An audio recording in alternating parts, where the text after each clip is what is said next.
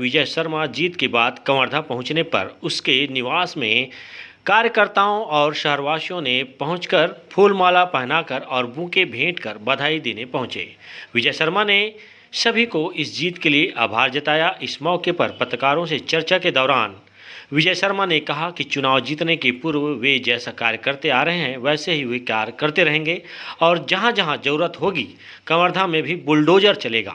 राष्ट्रीय राजमार्ग में संचालित शराब की दुकान पर आपत्ति हो रही है। दुकान को हटवाने की काफ़ी दिनों से मांग आ रही थी, जिस पर विजय शर्मा ने कहा कि आपत्ति आ रही है तो शराब की दुकान ज़रूर हटेगा।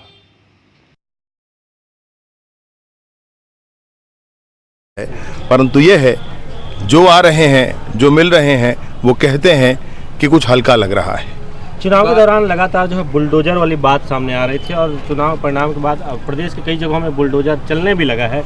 कवर्धा के आगाज- सेंटर और शराब की दुकान एनएच पर जो दुकान उसको हटाने के लिए लगातार आप लोग आंदोलन किए थे। उस पर बुलडोजर कब चलेगा उस पर कार्रवाई कब होगी? निसंदेह जो बिलासपुर रोड में शराब की दुकान है जहाँ तक मैंने सुना है ना उसमें नगर पालिका का एनओसी है ना ग्राम पंचायत का एन है। ऐसी दुकान तुरंत बंद होनी जानी हो जानी चाहिए। और दूसरी बात इसके लिए मैंने कलेक्टर साहब से कहा भी है कि आप एक बार परीक्षण करें उसका क्या स्थिति है। और दूसरा ये है कि अगर वहाँ पर कोई आपत्ति है लोगों को तो उसको हटना भी चाहिए। वो हटेगा हर हाल में हटेगा। बुलडोजर चलेगा मतलब चखना सेंटर में जहाँ जहाँ आवश्यक होगा पूरे प्रदेश में हर जगह बुलडोजर चलेगा। आप निश्चिंत रहें इस बात।